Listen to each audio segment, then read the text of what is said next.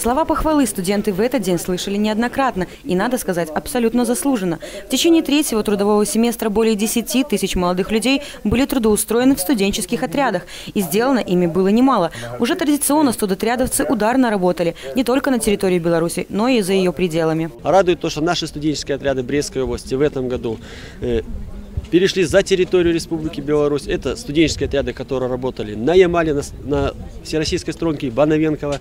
Это педагогический отряд, который выезжал в санаторий ЕСК, Российскую Федерацию.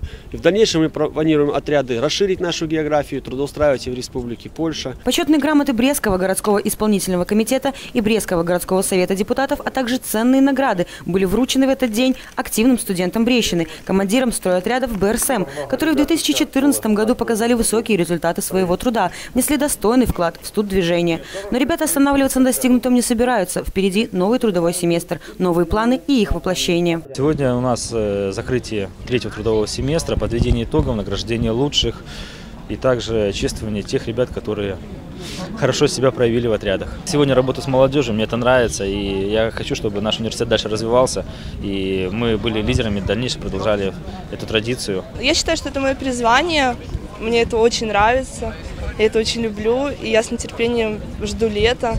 Я живу этим весь год, мне снятся сны, поэтому именно мне кажется, что это то дело, которое вот мое. Одной из причин вступления в стройотряды является материальный интерес студентов. К слову, в этом году планка заработной платы стала выше, а наиболее активные представители молодежного движения получили и дополнительное денежное вознаграждение. Таким образом, у молодых людей за летний период получилось и хорошо поработать, и существенно заработать. Радует то, что больше ребята стали зарабатывать. Были заработная плата максимально составила 13,5 миллионов рублей. В педагогических отрядах это заработная плата 2,5-3 миллиона.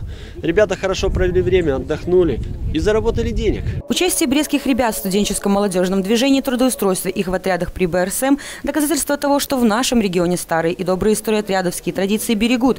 И это не может не радовать. Ведь помимо того, что молодые люди, состоящие в них, заняты полезным делом, они могут и иметь стабильный личный заработок. Плюс ко всему, это отличная возможность новых знакомств и новых встреч. София Бережная, Эдуард Бакунович, Антон Луговкин, телекомпания Бук ТВ.